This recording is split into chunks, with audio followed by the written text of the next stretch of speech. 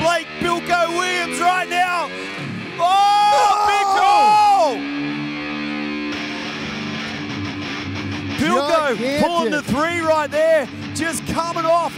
Just landed quite nicely down there. He was supporting a bit of an injury, so hopefully he rode out of that one He's quite on nicely. his feet. He's on his feet. Make